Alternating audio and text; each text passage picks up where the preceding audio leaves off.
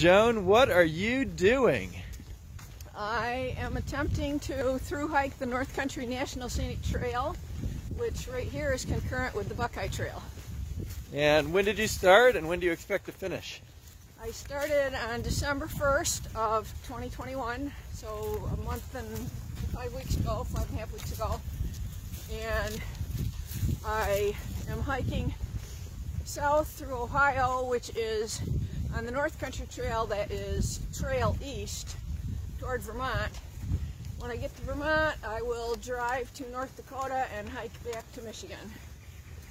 And and um, when do you expect that day to finish? Well, in theory, which it totally is in theory because you can't really predict what's going to happen on a year-long hike, but in theory it will be December 1st of this year, 2022.